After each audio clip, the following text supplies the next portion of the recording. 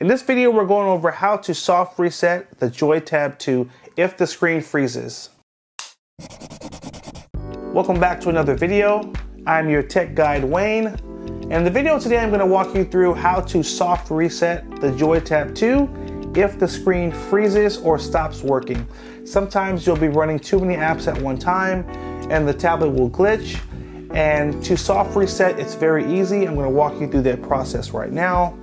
You're gonna hold down on the volume down and the power button for about 10 seconds. And this is what it'll look like.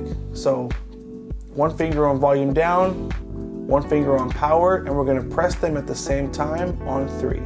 One, two, three, hold. Now it will trigger a screenshot. Continue to hold the buttons, and after about 10 seconds, the screen will go dark. And just like that, our screen is dark and that's how we know our soft reset was successful.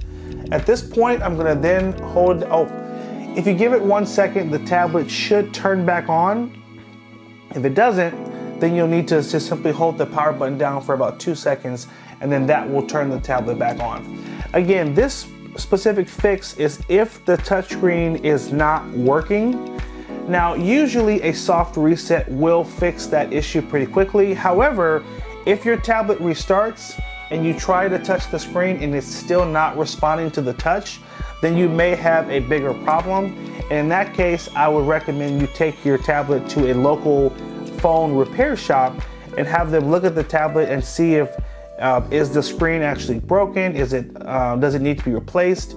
You may have a bigger issue. In that case, you'll want to go to a professional to take a look at it. So, hope you guys found this helpful. Make sure you like, favorite, and share if it was helpful. Hit that subscribe button and stay tuned for more videos. Take care, and as always, have a good one.